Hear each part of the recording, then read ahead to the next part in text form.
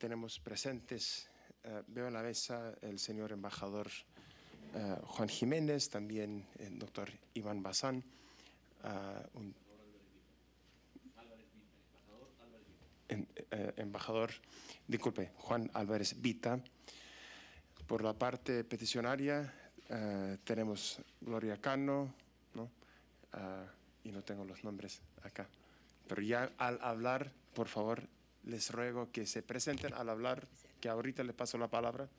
Ah, pero vamos a comenzar con el Estado, porque ha solicitado, entiendo que va a hacer uso de los 20 minutos. Una parte va a ser desde la conexión por eh, video, pero, o no. Entonces, con la palabra este, los distinguidos representantes del excelentísimo Estado peruano. Eh, muy buenos días, señor presidente, señores comisionados, eh, distinguidos eh, representantes de la sociedad civil. me acompaña efectivamente el embajador Álvarez Vita, que es el director de Derechos Humanos del Ministerio de Justicia y Derechos Humanos, y el doctor Iván Bazán de la Procuraduría Supranacional.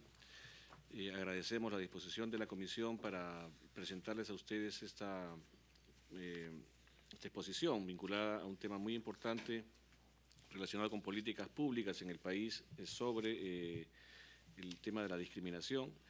Y sin más preámbulo, yo quisiera que eh, el, director de Derechos Humanos, que es un experto en la materia también, pueda hacer la presentación correspondiente. Muchas gracias.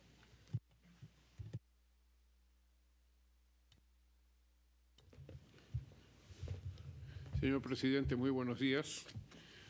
Muchas gracias nuevamente por esta invitación para que el Perú pueda presentar un informe sobre los avances que se han venido dando en los últimos tiempos en la esfera de la discriminación. Este es un problema no solamente del Perú, sino de la humanidad en general. Reflexionando sobre antecedentes históricos, encontramos muchísimos y tienen orígenes muy variados a veces son orígenes religiosos, a veces es simplemente la reacción humana de sentir que la otra persona es diferente. Y de ahí es donde podríamos decir de manera muy simplificada que viene el problema de la discriminación. La discriminación va evolucionando con los años va evolucionando por diferentes razones, porque las sociedades también van cambiando, porque los criterios no son siempre los mismos. En términos generales, el avance contra la lucha de la discriminación presenta varios aspectos. Hay discriminación por razones de raza, de etnia, por razones de lengua, por acentos distintos aún dentro de una misma lengua, por razones de discapacidad, por razones de género o de sexo, por razones de orientación sexual que la persona pueda tener y la lista puede ir creciendo. Esta lista no es exhaustiva dentro de la documentación que nosotros hemos preparado en el Perú pues se encuentran muchísimos temas sobre esto. Yo quisiera eh, señalar que en el Perú para luchar contra el problema de la discriminación no se ha hecho todo lo que se debería hacer, porque esta es una tarea continua. Sin embargo, estamos haciendo los mayores esfuerzos posibles para conseguir por parte del Estado que las acciones que se van ejecutando puedan tener una plasmación en la realidad. El, el Perú ha suscrito prácticamente todos los tratados de derechos humanos que tienen que ver con la discriminación. Pero no es suficiente ni que un país sea Estado parte de convenciones internacionales, ni que tenga disposiciones a nivel de la propia constitución del Estado, ni que tenga leyes, sino que corresponde a toda la colectividad participar y luchar y unir fuerzas para hacer disminuir la discriminación. Por eso yo me siento muy complacido y quiero saludar la presencia de tres representantes de la sociedad civil, algunos de los cuales yo he tenido oportunidad de conocer en anteriores ocasiones, y yo creo que en conjunto todos debemos saber que estamos en el mismo barco y con la misma esperanza de crear un país cada vez más justo.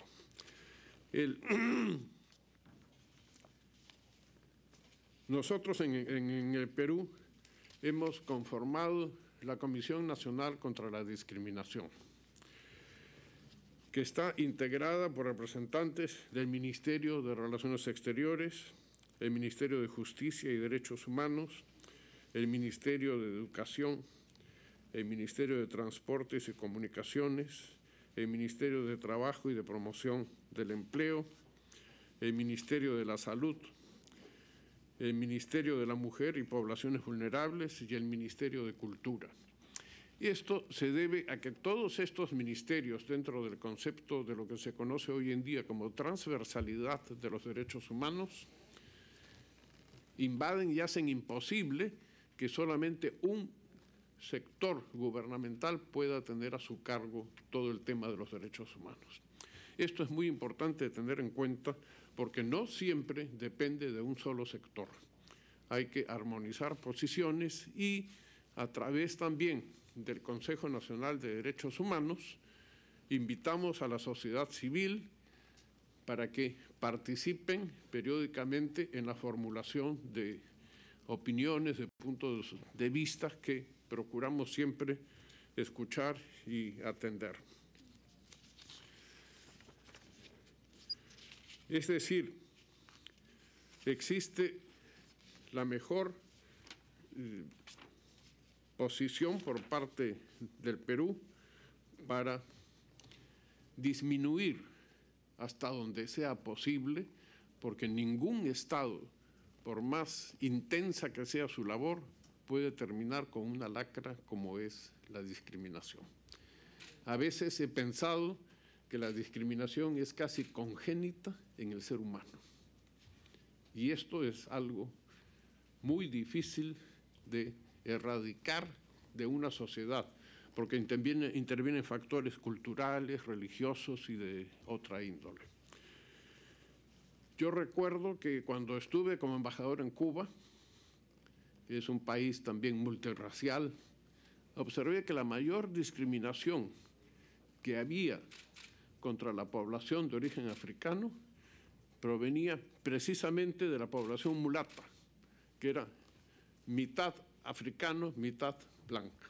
Como si al discriminar se quisiera alejar de uno alguna posible mancha, algún posible fastidio que le está incomodando. Pues este proceso se da también en el Perú. El Perú es un país multirracial. Durante muchos años la posición del Estado peruano era la de decir en el Perú no existe discriminación racial. ¿Por qué? Porque somos un crisol de razas, porque en el Perú conviven prácticamente todas las razas del mundo y se han mezclado todas. Y con eso la gente llegaba a pensar que en el Perú no se discriminaba racialmente. Sin embargo, cualquier estudio que se haga sobre eso demuestra lo contrario.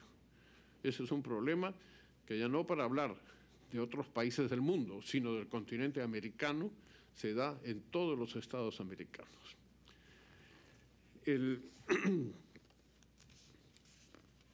hemos podido establecer que la enseñanza de los derechos humanos sea obligatoria en todos los niveles, en la escuela primaria, en la secundaria, universitaria, comprendidas las escuelas de las Fuerzas Armadas y policiales. Ahora, ¿qué poder hacer? Yo recuerdo que hay experiencias muy interesantes de otros países que durante más de 60 años tienen programas específicos de lucha contra la discriminación. Sin embargo, no han tenido un éxito. Calar en la mente de la población es a veces una tarea muy difícil. Pero eh, en el Perú no solamente se da una discriminación racial, que tradicionalmente se ha dicho esto empezó con la conquista española, Yo mismo he hecho investigaciones históricas y he encontrado que los incas ya discriminaban mucho a los reinos, a las personas de los reinos que conquistaron. Los mochicas en la costa norte del Perú eran esclavizados y racialmente segregados por la sociedad incaica. Durante el virreinato y durante la república misma, estas situaciones han sido conservadas, perpetuadas, y hay una diferencia muy grande cuando uno empieza a ver la historia tal como debió ser y no como se ha venido también enseñando tradicionalmente en las escuelas del Perú y también podría decir que en la mayoría de los estados americanos. El, el tema es tan grande que en realidad los 20 minutos asignados son muy, muy escasos. Pero eh, quisiera pasar con ayuda de la, de la muy gentil asistenta que tenemos aquí, una doctora que forma parte del Ministerio de, Justicia del Perú, para ir proyectando las tareas que concretamente hemos venido haciendo en el marco de la CONACOT, o sea, la Convención Nacional contra la Discriminación. También se ha distribuido entre los asistentes unos folletos que ya los deben tener en sus manos, que explican también las cuestiones relacionadas con la posición que el Perú tiene. Por razones de, tiempo, voy a ir abreviando. Por favor, si puede pasar al diapositivo siguiente. Quiero eh, señalar que no solamente estamos aplicando la cultura de los derechos humanos en la capital, sino que estamos en pleno desarrollo de lo que llamamos los diálogos regionales. Una vez por semana, una delegación del Ministerio de Justicia, presidida ya sea por el, en algunos casos ha sido el propio ministro, en otros casos el viceministro, y siempre acompañado por un staff de, especialistas en el tema, estamos recorriendo todas las regiones del Perú para hablar sobre el tema de los derechos humanos y también dentro de ese diálogo con la comunidad escuchar cuáles son sus preocupaciones, etcétera. Ahí también estamos aprendiendo mucho de lo que la sociedad civil puede aportar en la lucha contra la discriminación.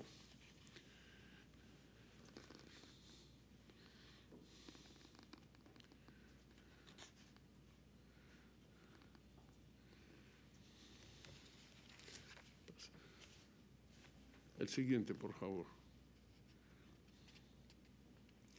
También en este marco hemos creado una plataforma virtual a efectos de poder hacer factible que las personas puedan presentar denuncias contra funcionarios que estén atentando contra la discriminación. Esta plataforma es muy interesante, vamos a ir eh, proyectándola, está integrada por los mismos eh, sectores que conforman la, CONACOT, es decir, la, Comisión Nacional contra la Discriminación, y se le da la posibilidad a cualquier persona, sea peruana o extranjera, puede ser también alguna persona que sin encontrarse en territorio peruano sienta que es discriminada en un consulado, en una embajada. Esto es muy importante porque las violaciones también se pueden dar en el ámbito de una oficina peruana en el exterior. Con esto estamos instando a la población a que denuncie cuando es violado en motivos basados en discriminación. También se extiende cuando la persona es un ciudadano común. Podría hacerse, pero la gente a veces no tiene la cultura necesaria, no tienen la valentía de decir que han sido discriminados. En el Perú es muy difícil que una persona diga que la han discriminado por tal o cual cuestión. Primero, si se trata de discriminación racial, porque toda la gente dice, ah, a mí no me han discriminado, ¿cómo se les ocurre? Yo soy blanco, de pelo rubio y de ojos azules, ¿no? Habrán discriminado a otro. Esto también lo he visto en otros países americanos. Creo que estos diálogos que tenemos aquí en la OEA son sumamente interesantes también para aprender otras experiencias. Aquí, eh, por favor, vamos a ir viendo a través de las... Esta es una, esta es una síntesis rápida de cómo funciona esta plataforma. El ciudadano puede presentar su denuncia y es canalizada por esta plataforma y derivada automáticamente en primera instancia a los ministerios en los cuales corresponde, corresponde la, el tema.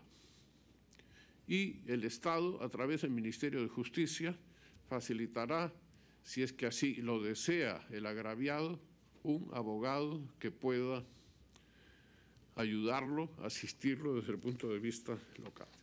En los, los, siguientes eh, diapositivos pueden ustedes ver todos los pasos que hemos establecido para que las personas puedan presentar sus eh, sus denuncias.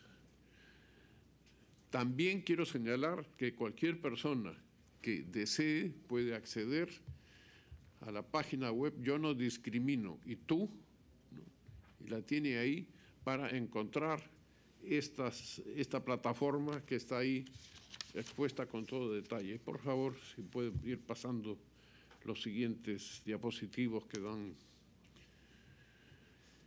Se ha procurado también que en las eh, en estas eh, en esta plataforma aparezcan los distintos tipos raciales que hay en el Perú. Por favor, doctor.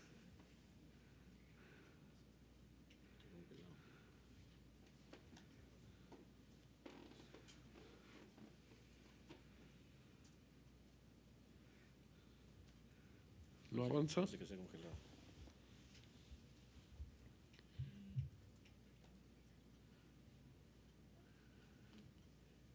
Entonces, si puede pasar por favor al, al jingle que está ahí contra la discriminación y a un video también que hemos elaborado especialmente para esta, para esta sesión.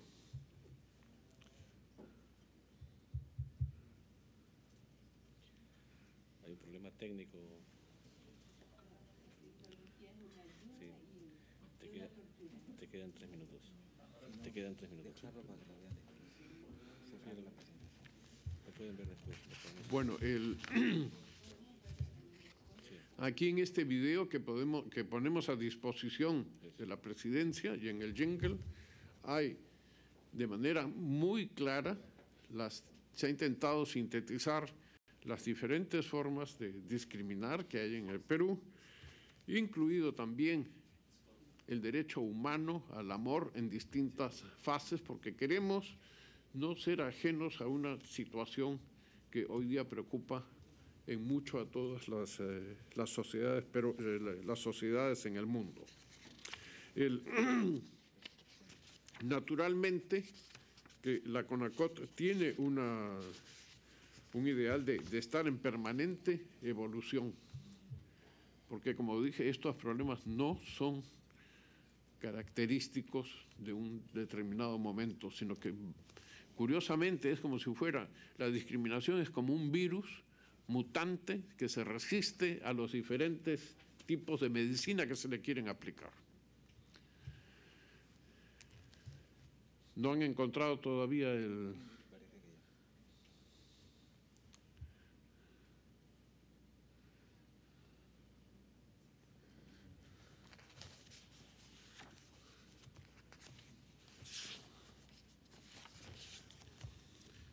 Problemas financieros de la OEA.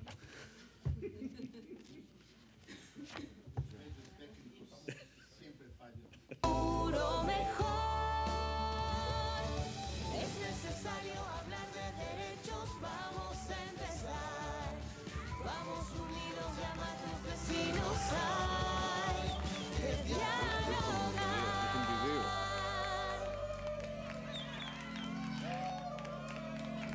Este 15 y 16 de octubre estaremos en el auditorio del Hospital Regional, vía de evitamiento con Avenida El Progreso, sin número, Lambayeque. Si, si quieren ir concluyendo, ahí después de la intervención de los... Ah, ahora está. Muy bien. Reservamos entonces los minutos que nos quedan para, para posteriormente. Muchas gracias, señor presidente, por su comprensión. A ver aquí.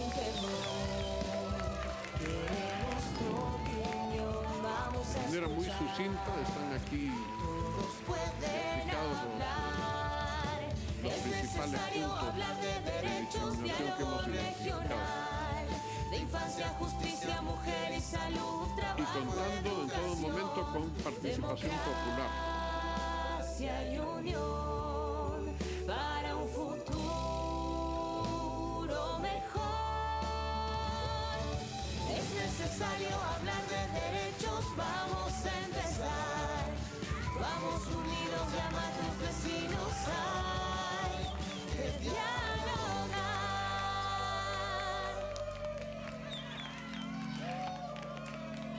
Este 15 y 16 de octubre estaremos en el auditorio del Hospital Regional, vía de evitamiento con Avenida Progreso. Tenemos eh, número, otro video también aquí incluido que lo pasaremos al, al final de- después de oír a las representaciones de la sociedad civil. Muchas gracias, señor presidente. Muchas gracias, señores comisionados. Muchísimas gracias, señor embajador. Eh, ofrecemos la palabra a, a los peticionarios por 15 minutos. Muchísimas gracias. eh, muy buenos días, señores comisionados. Eh, Todas y bueno, todos.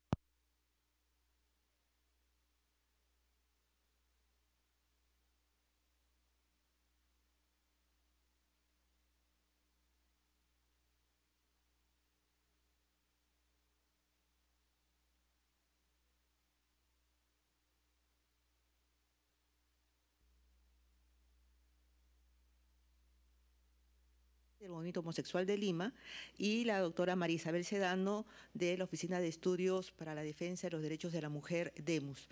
Ellos eh, van a presentar ante ustedes nuestra posición en forma breve en dentro de los minutos que nos ha concedido esta honorable comisión. Para ello les dejo la palabra a mis colegas. Buenos días, señores comisionados y representantes del Estado. Eh, desde la sociedad civil del Perú reconocemos que la Constitución del Estado señala que toda persona tiene derecho a la igualdad ante la ley y a no ser discriminado. Y si bien reconocemos que hay avances formales en el desarrollo de estas políticas, también que los, que los instrumentos de gestión del Perú adolecen de un reconocimiento parcial de los sujetos de derecho, eh, incluye un alcance limitado del contenido de este derecho y de las diversas normativas que que tiene el país presentan serias falencias en su aplicación. Cuestionamos la idoneidad de la estructura actual del Consejo Nacional contra la Discriminación, CONACOT, como órgano multisectorial especializado en materia de igualdad y no discriminación. En tanto, este agrupa solamente a ocho ministerios con funciones específicas en la prevención, investigación y o sanción de la discriminación, sin asumir la transversalidad de este enfoque, que debe ser además un deber en el conjunto del Ejecutivo. Además de ello, su alcance está limitado por la propia norma de creación del CONACOT, que establece que sus acuerdos son vinculantes única y exclusivamente para aquellos sectores que votan a favor de los mismos, convirtiendo el CONACOT en un espacio inocuo. Estos mismos cuestionamientos, además, han sido desarrollados en su momento por la Defensoría del Pueblo y hasta el momento se encuentran pendientes de respuesta y solución. Llamamos también la atención sobre serias omisiones en la actuación que está teniendo el CONACOT frente a prácticas recurrentes en el Estado peruano. Por ejemplo, en materia de acceso a la justicia y no discriminación, tenemos que a inicios de este año el Tribunal Constitucional peruano ha emitido una sentencia que niega el reconocimiento al derecho de la identidad de género de las personas trans, sobre pretexto que esto permitiría en el futuro el establecimiento de matrimonios entre parejas del mismo sexo. Ante esto, el CONACOT no ha hecho ninguna observación o pronunciamiento.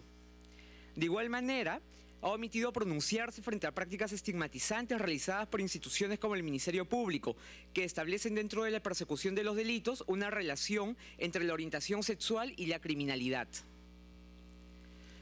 No se ha pronunciado frente a los estándares probatorios que hacen inviables el acceso a la justicia en casos de discriminación, al no considerar determinadas categorías, como la raza, la orientación sexual, identidad de género, edad, género, entre otras, como categorías sospechosas de discriminación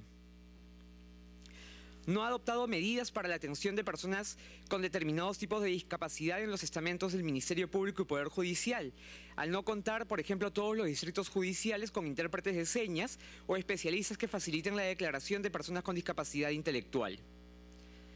La CONACOD además no ha emitido opiniones técnicas frente a la iniciativa de eliminar la orientación sexual e identidad de género como causales explícitamente protegidas de discriminación, incitación a la discriminación y persecución en el dictamen del nuevo Código Penal que actualmente se está debatiendo en el Congreso de la República.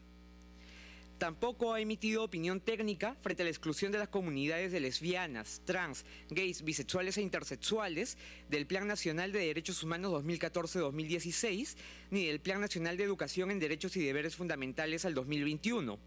Tampoco frente a la reciente desactivación de la mesa de trabajo sobre derechos TLGB convocada por el Ministerio de Justicia la misma que según el Estado peruano iba a constituir el espacio de abordaje de su estrategia antidiscriminatoria por orientación sexual e identidad de género.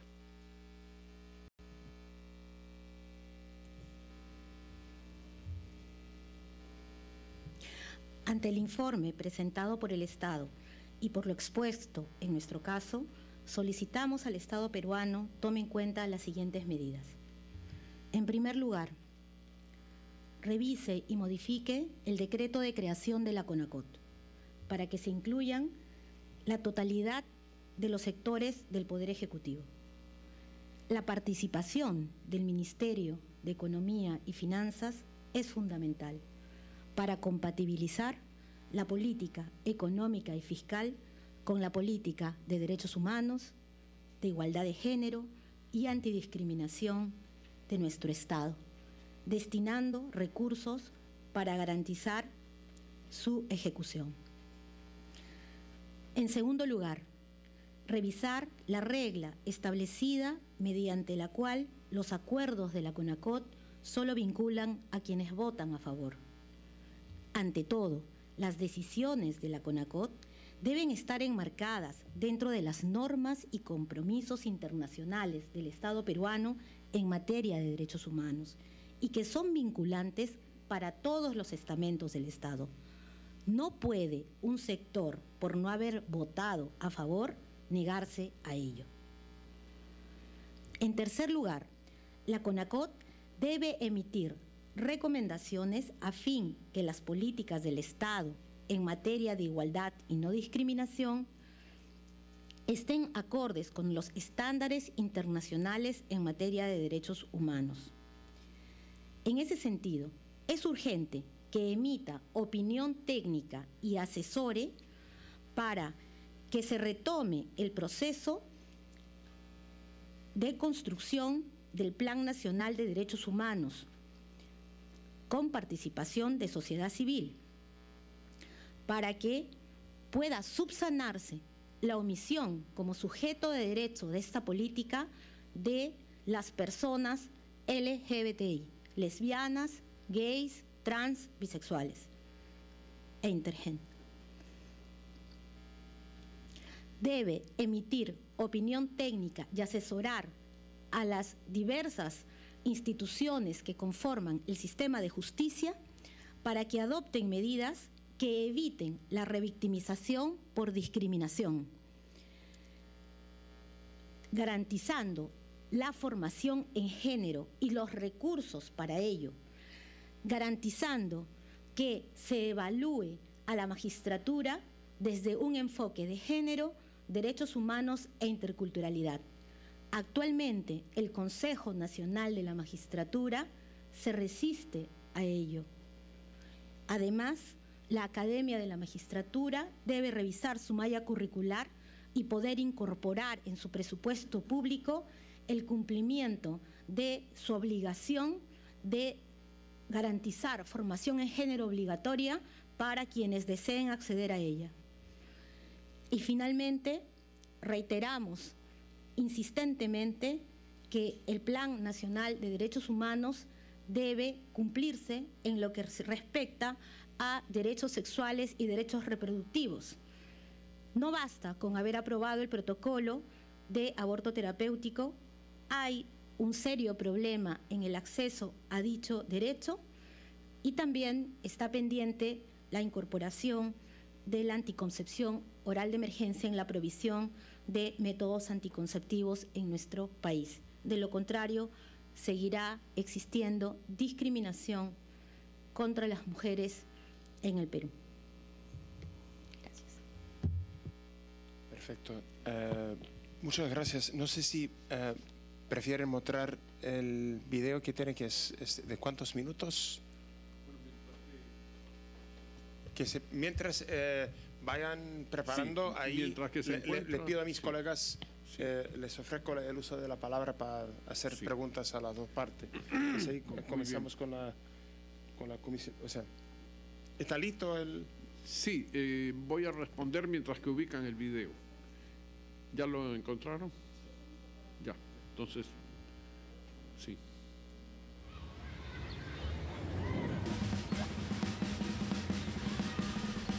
Todas y todos tenemos derecho a que Yo respeten quisiera por favor que observen bien este video porque sol responde en parte algunas de las inquietudes que han expuesto los miembros de la sociedad civil.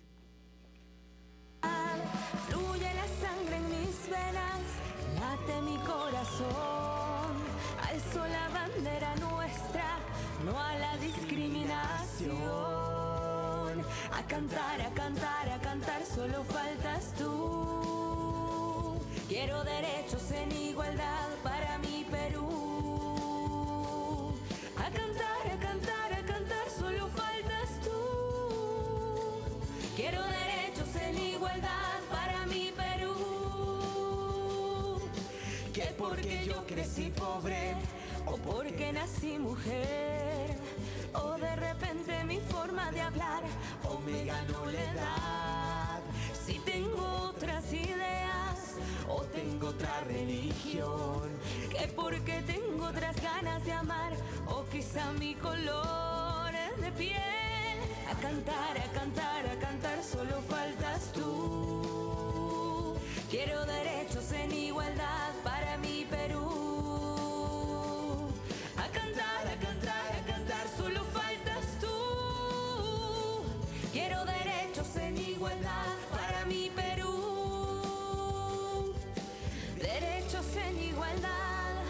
Es algo fundamental. Y para que eso sea realidad, te tienes que sumar.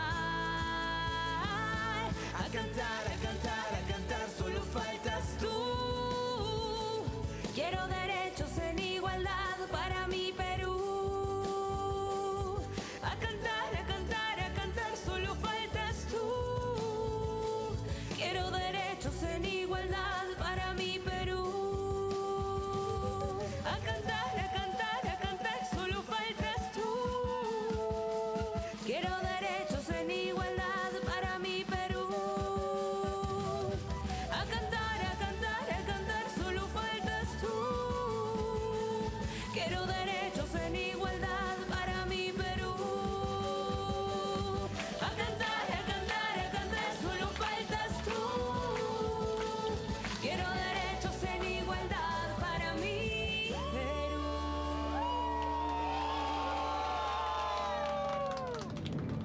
Perú se cuenta con una herramienta para la lucha contra todo tipo de discriminación.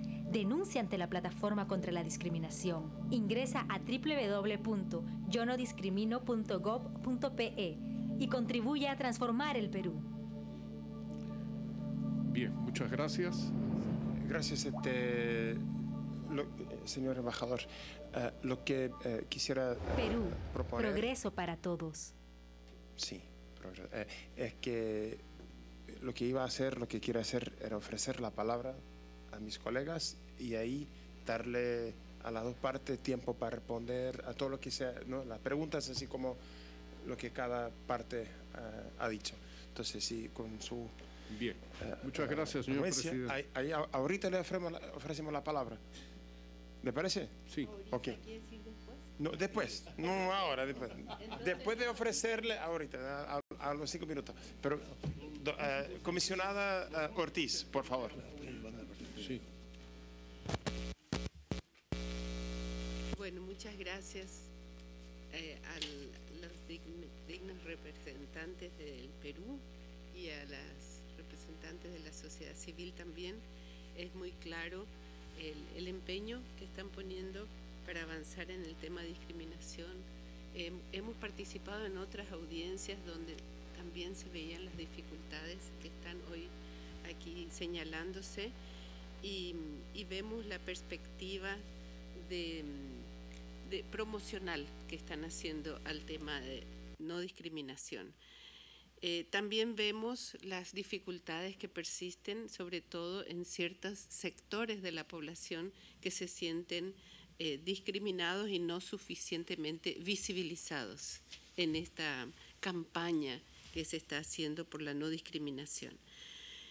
Entonces me gustaría saber dos cositas. Uno, a nivel universitario, señalaron que hay enseñanza de derechos humanos en todos los niveles educativos y me interesaría saber en- a nivel universitario, incluyendo la Academia de la Magistratura, porque vemos en varios países y posiblemente en Perú también, que los derechos humanos no son tomados en serio en la enseñanza universitaria y se reciben profesionales pensando que los derechos humanos son algo opcional.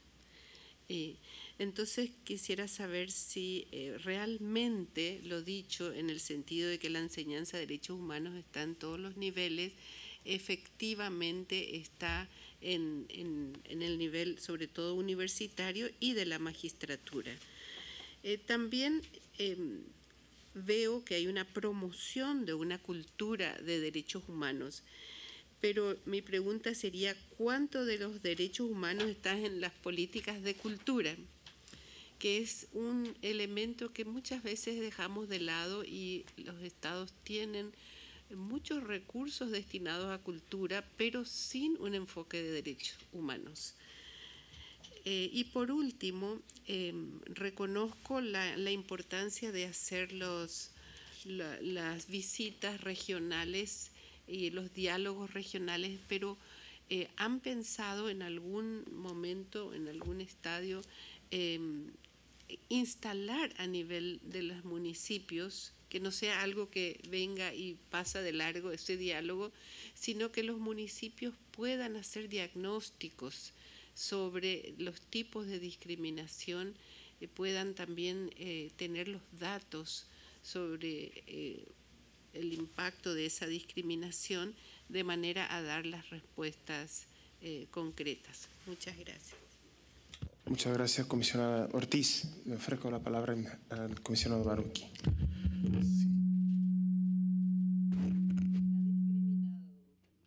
que passa. Bien. Ah, Gracias, agradeço a presença dos embajadores, de la, de la Estado de Perú, eh, de las organizaciones de la sociedad civil, de todas las presentes, en especial los dos colegas comissionados, doutora Esmeralda Arosemena e Dr. Francisco Eguguren. Algum dia eu vou aprender a falar estes apelidos, como também meu próprio apelido não é fácil. Ah, são poucas observações dentro de esta compreensão da exposição, da ponência, do embajador, eh, de que sí, sempre caminhamos, os desenvolvimentos são graduais. Eh, me recuerdo sempre de uma passagem muito simples de, de Hannah Arendt que disse que sempre o presente é uma transição muito breve entre el no más e el todavía no. Entonces, los desarrollos de Perú están claros en los vídeos. Eh, una- un saludo especial a la, a la música, que me recuerda a Phil Collins, con imágenes muy formosas. Pero sí, eh, los cuestionamientos me parecen algo que yo he vivido en mi vida en Brasil, cinco años como ministro de Derechos Humanos. Muchos de los desafíos de desarrollos tienen, tienen como barrera también nuestros propios temores políticos. Los gobiernos en la democracia piensan siempre en el proceso fundamental de elecciones, lo que piense el electorado.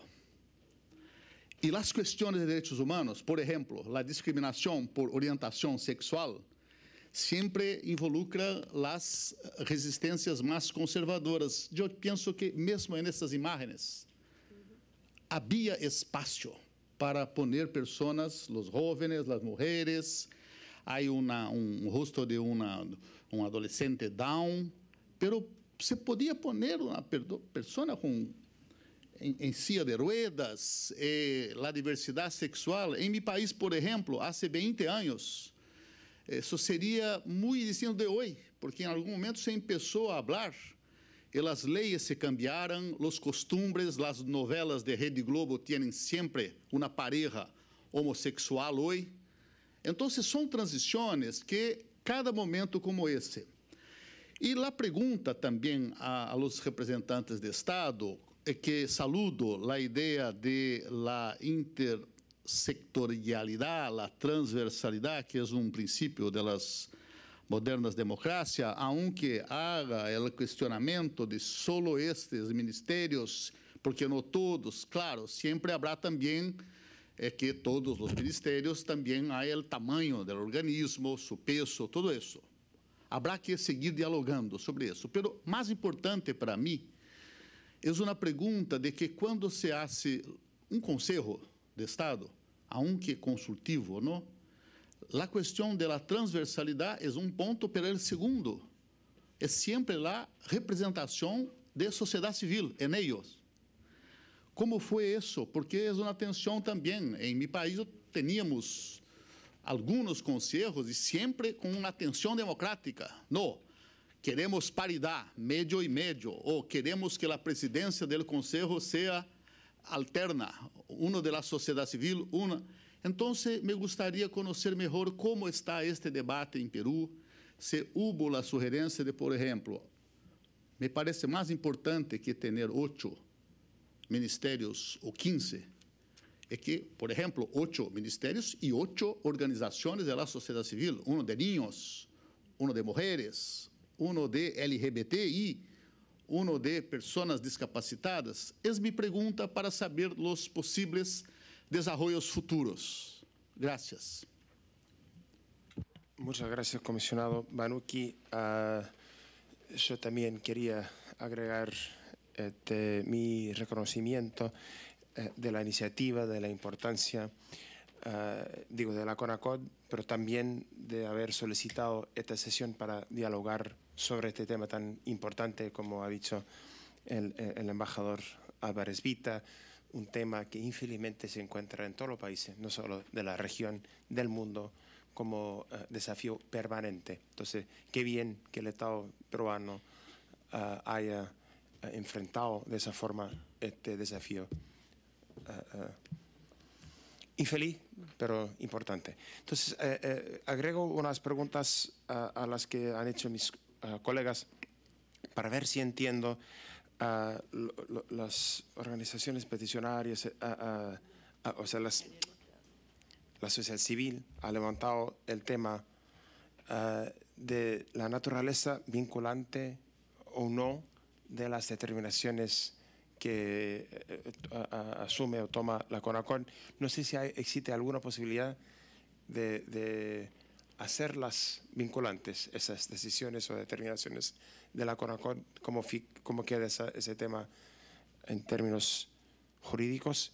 Y el otro tema es el tema de las personas LGBTI uh, y su participación, que también es un, hay un tema que hubo otra sesión el año, el año pasado, en marzo, no me acuerdo, uh, una audiencia solicitada por el Estado sobre el Plan Nacional de Derechos Humanos y ahí que se reconoce la importancia eh, de, del mismo y tenemos una copia acá, pero había una cierta preocupación por parte de la sociedad civil de la, sobre la exclusión de- del- del tema LGBTI en ese plan. Entonces ahí pregunto si no hay cómo enfrentar de forma más directa esa, esa, esa tensión.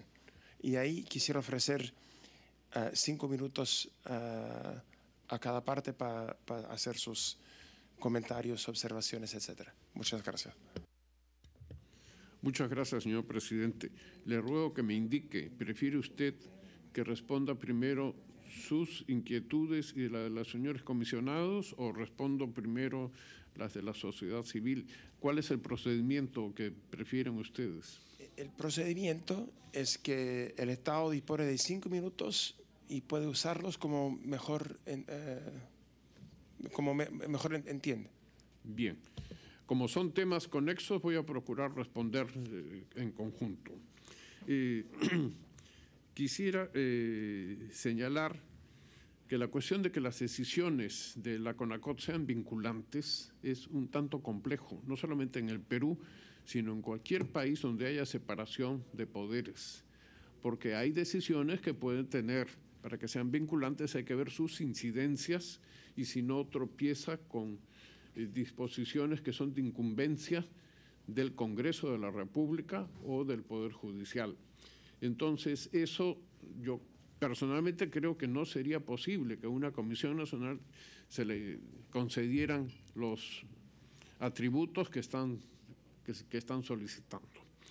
El- con respecto a la, a la enseñanza de, la, de los derechos humanos, precisamente en, sentada a esta mesa se encuentra una doctora que ha sido profesora en la Academia Nacional de Magistratura sobre el tema de los derechos humanos. Quizás tengan oportunidad para conversar luego con la comisionada Rosa María Ortiz para ampliarle este tema, pero sí se da esa enseñanza también a nivel judicial y a nivel universitario. Yo mismo, en mi condición de profesor universitario, he organizado y logré conseguir que la enseñanza de los derechos humanos fuera de carácter obligatorio. Después, la cuestión de los, eh, de los derechos de los grupos LGTBI. Esto es una cuestión sumamente difícil y compleja, porque la, la población del Perú no está en su totalidad, no tiene una opinión mayoritaria decidida por un- una posición o por otra.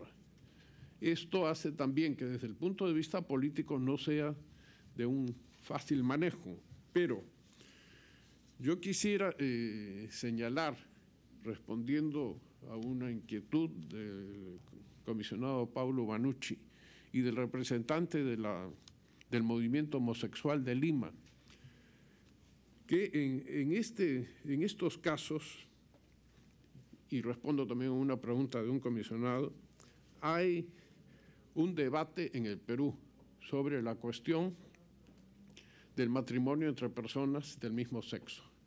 Se presentó un proyecto que contó con la aprobación del Ministerio de Justicia, señalando que no había inconveniente jurídico para la, la aprobación de ese proyecto de ley en el, en el Congreso. Lo que ha ocurrido es que el Congreso no, perdón, decidió no aprobarlo. Eso escapa a la posibilidad del Ministerio de Justicia, escapa a la posibilidad del Poder Ejecutivo. Dentro de los factores a los que se refirió el, el comisionado Paulo Banucci,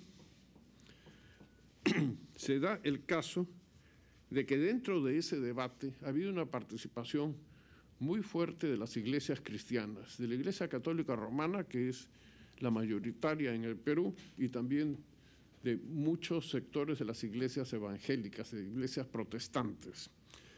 Y en alguna oportunidad, conversando con, en, la, en la mesa de discriminación de la Coordinadora de Derechos Humanos, que me pidió mi opinión sobre esto, quedó una cosa, por lo menos para mí, muy clara, que el MOL en concreto, el Movimiento Homosexual de Lima, no estaba dispuesto a enfrentar a las iglesias. no quería enfrentarse con la Iglesia Católica principalmente.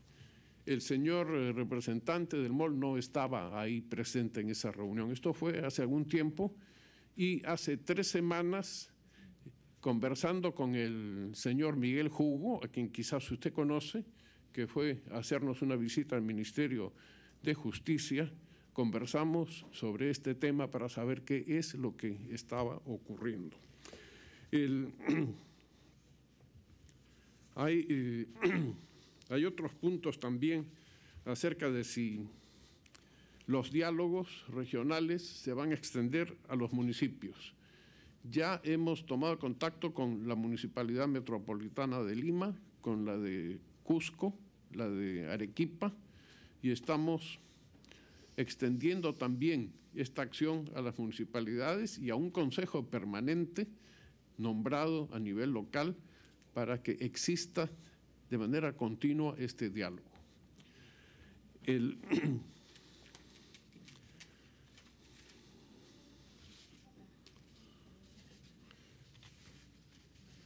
Después quisiera eh, señalar que hay, algunas cosas, aparte de que el Ministerio de Justicia señaló que no había inconveniente jurídico para la aprobación de, ese proyecto, se vienen haciendo talleres sobre derechos humanos contra la discriminación por orientación sexual. También a principios de este año se felicitó a la primera mujer transgénico que asumió un cargo de elección popular. Me refiero a la señora Luisa Revilla, elegida como regidora de la Municipalidad Distrital de La Esperanza. Esto ha sido un paso muy importante a favor de ese reconocimiento de los derechos que toda persona, sea cual fuera su orientación sexual, tiene como tal.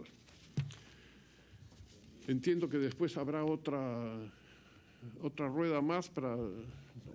Ya no. Ya no, el tiempo, infelizmente, el tiempo se nos acaba, pero vamos a darle... Un, un pedido simplemente. Yo agradecería, ya que los textos de las intervenciones han sido leídas, si me las pueden facilitar para recogerlos. Y también quiero señalar que en la última reunión del Consejo Nacional de Derechos Humanos, donde la sociedad civil está representada y tienen oportunidad para, participar, no se mencionaron los temas que ahora se están tratando. Estuvo ahí el secretario general de la Coordinadora de Derechos Humanos, que además integra, como es conocido, el movimiento homosexual de, de Lima. Sin embargo, eso no se planteó en esa oportunidad. Muchas gracias, señor presidente. Muchas gracias, señor embajador le ofrecemos la palabra a, la sociedad civil o sus representantes por cinco minutos. Sí, solo eh, efectivamente muy brevemente para señalarte que las políticas del Estado eh, se plasman justamente en los planes nacionales de derechos humanos, en los cuales, como bien lo, ha recordado el comisionado James Cavallaro, tienen una grave falencia que es la invisibilidad de, de un sector bastante vulnerable como es la comunidad LGTBI. Partiendo de eso, el resto de las políticas que van fluyendo del Estado eh, tienen ese sesgo discriminador. De otro lado, nosotros que solamente queremos recordarle al, Estado que estamos en un Estado laico y que los derechos humanos no son, no se pueden eh, medir, no se pueden eh, medir en, base a si, si es la simpatía popular o no cuando se habla de los derechos de la comunidad LGTBI o, de la comunidad o, de las mujeres o de las personas con discapacidad, no es que si no se pueden encuestar, no se puede garantizar los derechos simplemente porque a la población le guste o no. Las cuestiones de derechos no pasan por eso. En ese mismo sentido, queremos reiterar que tanto el Movimiento Homosexual de Lima, APRODE, DEMUS y la Secretaría Ejecutiva de la Coordinadora Nacional de Derechos Humanos en distintos momentos han llamado la atención sobre la exclusión sistemática y recurrente de los derechos humanos de las personas lesbianas, trans, gays y bisexuales, tanto en el Plan Nacional de Derechos Humanos 2014-2016 como en el Plan Nacional de Educación en Derechos y Deberes Fundamentales al 2021. Temas que hemos traído a este espacio en los dos últimos periodos de sesiones.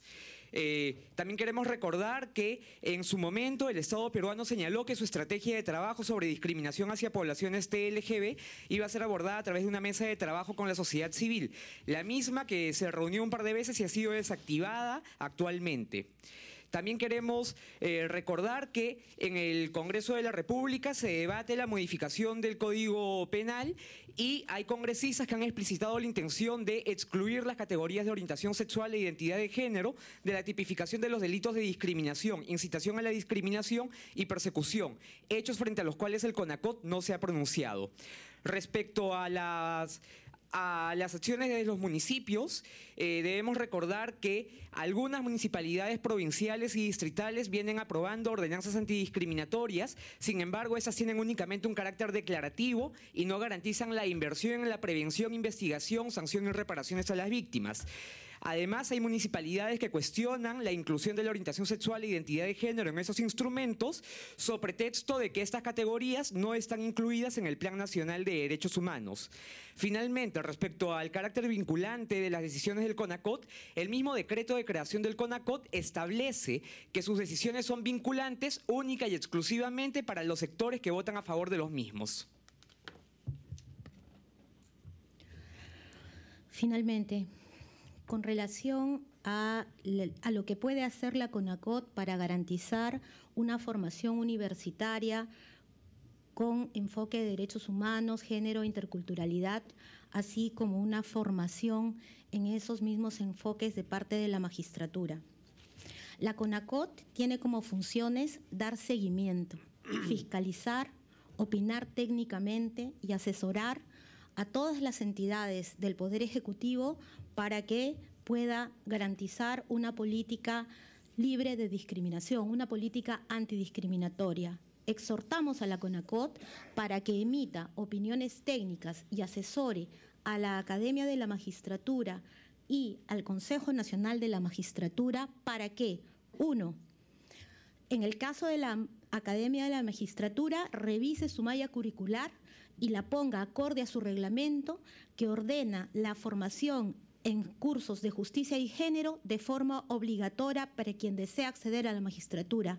Y en el caso del Consejo Nacional de la Magistratura, que apruebe una guía que incorpore la perspectiva de género al momento de evaluar a, los magistrados y las magistradas y que bonifique la formación en género para quienes desean acceder a la magistratura. Muchísimas gracias de nuevo al, Estado por haber solicitado esta audiencia, a los representantes de la sociedad civil, a las dos partes por las informaciones ah, y con esto se da por concluida esta audiencia. Gracias.